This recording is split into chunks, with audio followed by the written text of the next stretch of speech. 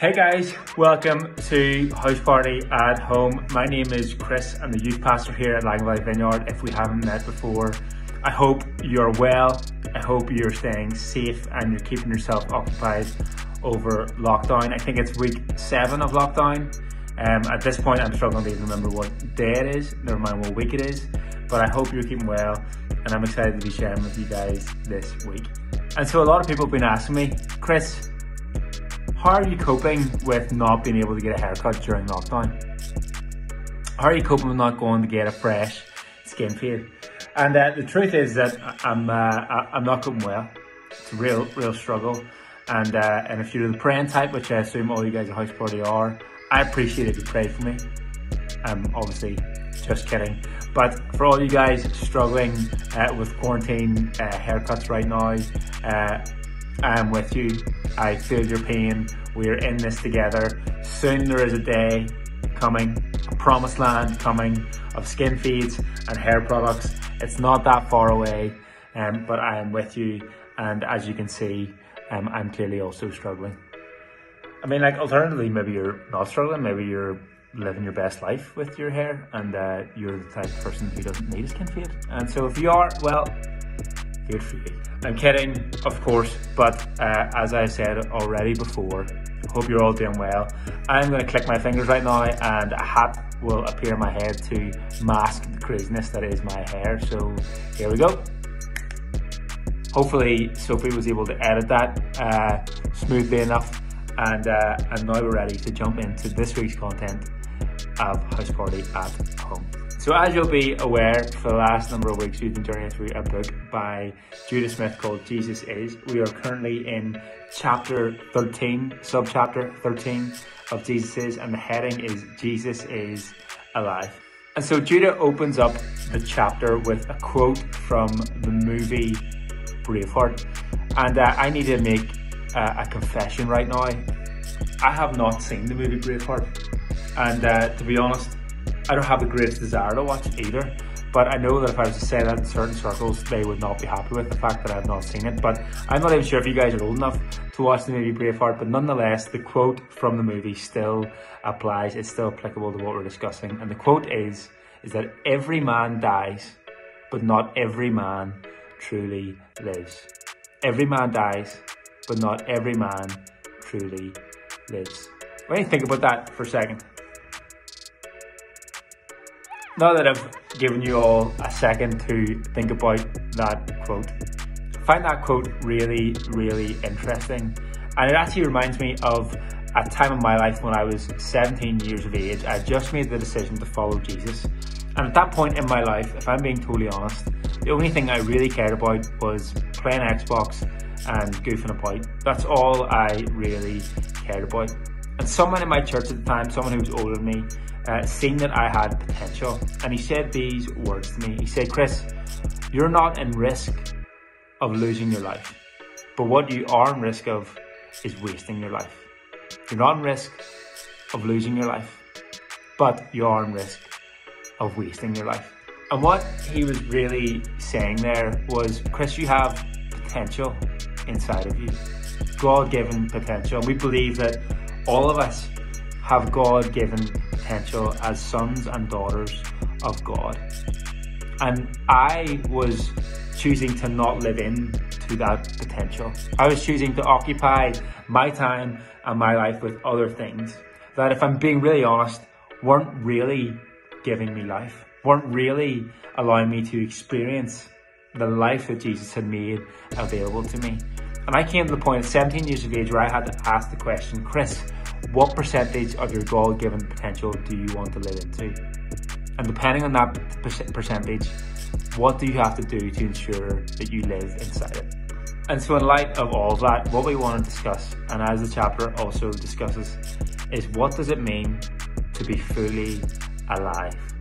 You hear the phrase we say around the vineyard from time to time around engaging with the life of Jesus. What does it mean to encounter the life of Jesus and not change our day to day existence. What I find really interesting is um, a lot of us use the phrase living the dream or lay or living the dream. We may even look at people on social media, look at celebrities and see all the things that they have. That they may have cars and houses, they may have popularity and status, they may have uh, constant photos of beaches or really cool setups in the room or whatever it is. And we can look at that and say, wow, aren't they living the dream? Because if it's what we think we're going to find life in, it's what we're ultimately going to reach for and strive for. And the truth is, is that those things aren't necessarily bad. Having nice things, money, houses, cars, all that kind of stuff aren't necessarily bad. In fact, they're really neutral things.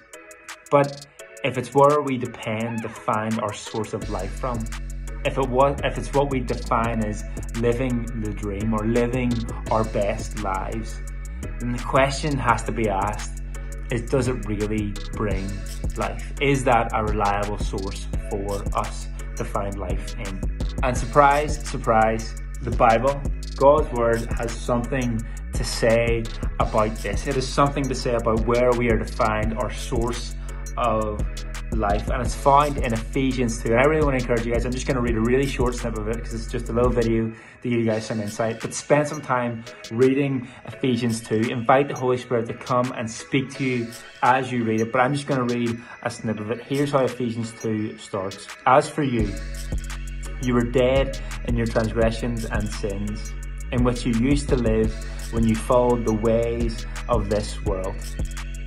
But because of his great love for us, God, who is rich in mercy, made us alive with Christ, even when we were dead in, tra- in our transgressions. It is by grace that we have been saved. When we followed the ways of the world, and the example that said we were dead, it didn't bring us life. But now that we have found ourselves in Christ, it is said that we are made alive in Him. And Judah in the book discusses this idea of sin and how whenever we live into it, ultimately what it does is it makes us not alive. It diminishes our experience of what it means to be fully human and fully alive. It breaks the connection to the source of life that is Jesus. And Judah unpacks it much more in detail what sin actually is and allow you guys to read through that and discover it. Judah in simple defines sin as missing the mark. And he puts it this way. He says, I have good news and bad news. And the bad news is that, well, you've sinned. I've sinned, we've, we've all sinned. But the good news is that we all have. We are all technically sinners as per se. We've all made mistakes. We've all done things that we are not supposed to. We've all realized that we're not perfect and that we do make mistakes from time to time. And so if you've made a mistake, you're not alone. You're not exempt. You're not one person who's set aside. We are all the same. We have all made mistakes. We have all missed the mark. And realizing that at times we do bad things, it can be a pretty exhausting thing. I can remember whenever I was growing up that if I ever did something I wasn't supposed to do, I would try to go out of my way to try to do something nice for someone so that I could somehow level the playing field. And the truth is that that's just not how it's supposed to be. That's an exhausting way to live.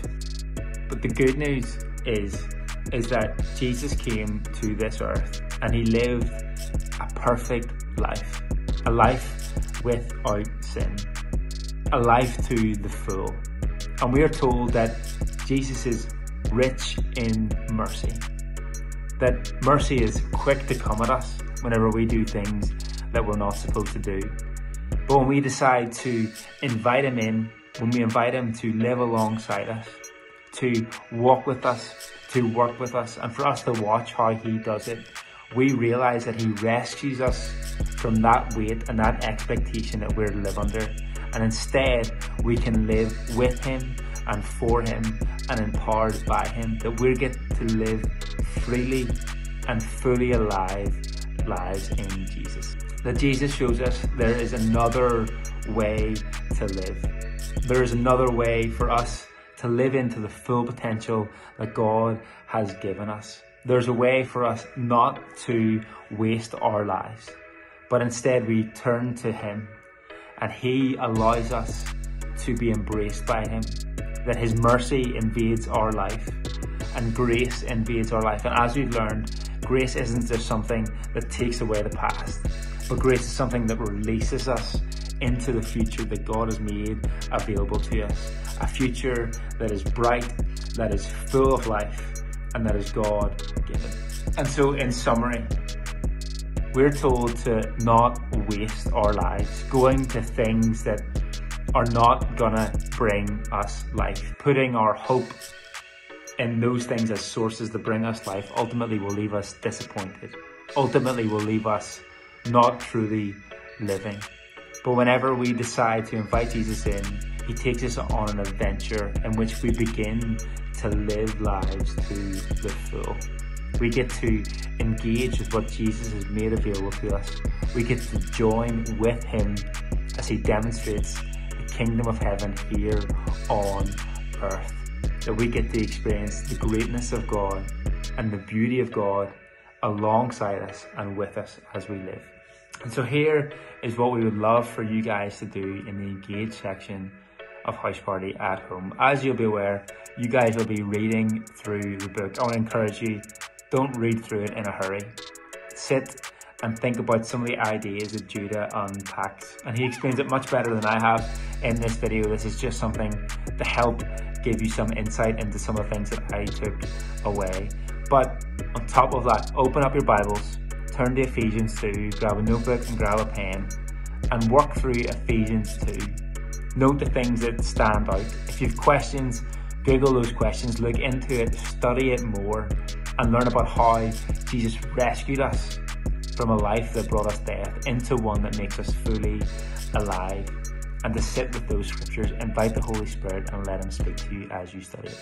The next thing that we would love for you guys to think about and probably reflect on is where do you find your source of life? What are you placing your hope in to bring you life? Maybe that's a future career, maybe that's aspirations, maybe that's dreams that you have, and those things aren't necessarily bad. But if it's all that we place our hope in for a source of life, what we've learned is that we can become disappointed in that.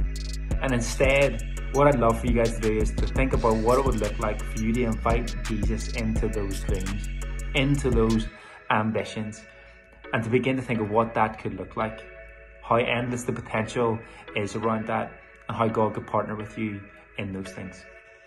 And the last thing that we would love to point you towards is that we believe that God's word is life to us, that it is described as a light unto our path, a lamp unto our feet. It is a guide for us. It is something that nourishes us. It is something that uh, we can feast on and we can be satisfied in.